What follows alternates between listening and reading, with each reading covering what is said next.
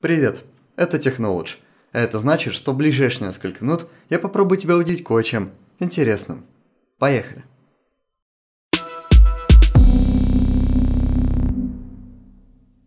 Компания Hyperloop One провела новый этап испытаний, где протестировала свой вариант версии транспортной системы Hyperloop.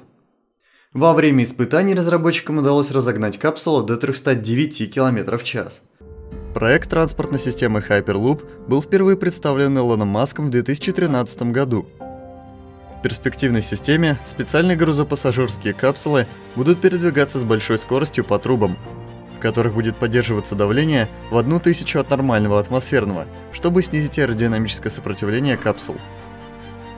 Испытания проводились на тестовом участке DevLoop в пригороде Лас-Вегаса. Длина системы составляет 500 метров – Полноразмерный прототип капсулы проехал по трубе около 300 метров, после чего была задействована его тормозная система. На время испытаний давление в трубе понизили до уровня, соответствующему высоте 60 км над уровнем моря.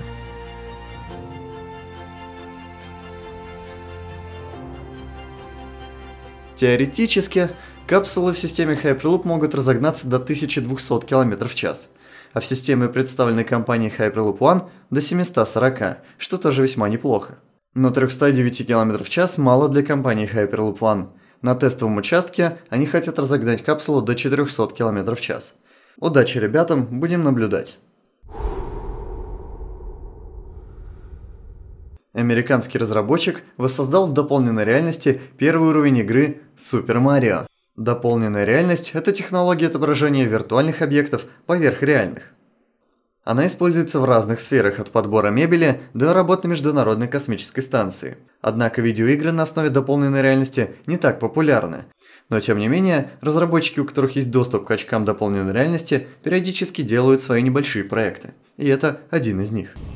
Он разработал на Unity AR версию первого уровня Super Mario и прошел его в очках HoloLens. Стоит отметить, что геймплей при переносе на физику реального мира претерпел некоторые изменения, и игрок получил возможность обходить препятствия. Поскольку не может в реальности прыгнуть на такую высоту, как Марио в оригинальной игре.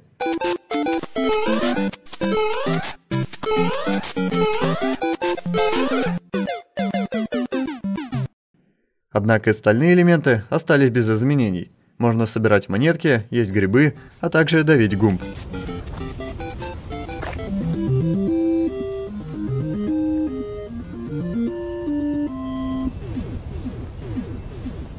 Тем не менее, они могли совместить виртуальную реальность и реальность, и получился бы интересный симбиоз, как уже, впрочем, некоторые делали.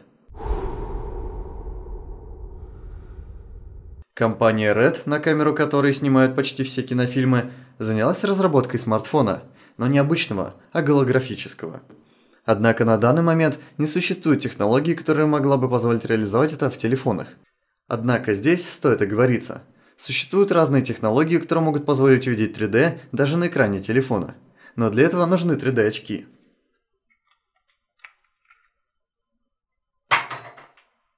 Для этого нужны... Для этого нужны 3D-очки или смотреть на телефон под определенным углом. В смартфоне гидроген можно будет смотреть почти под любым углом, и изображение будет объемным.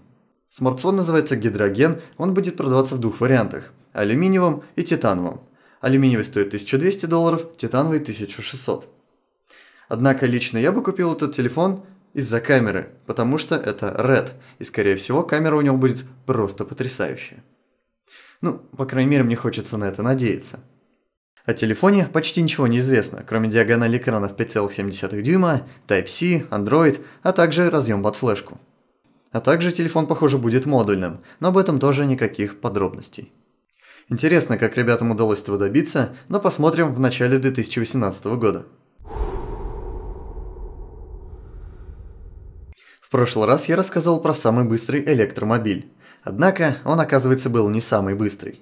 Недавно Lucid Motors провели испытание своего Lucid Air, который на тестовом треке разогнался до 378 км в час. Вот это уже действительно быстро.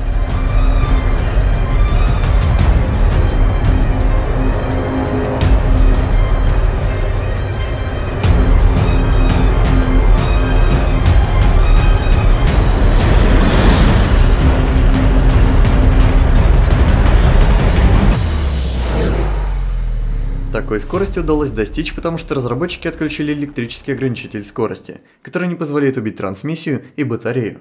Сегодня самым быстрым серийно выпускаемым электромобилем является Tesla Model S. Однако Lucy Тейр будет выходить уже в 2018 году и, вероятно, заменит Теслу.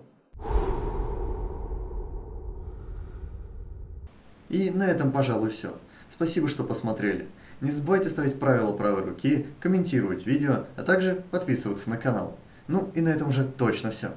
До встречи. Пока. С работы едете, да? Мы вообще-то Hyperloop тестируем. Ты нормальный вообще? Да. Почему ты вообще без каски? А мне сказали, так неплохо будет. Наверное.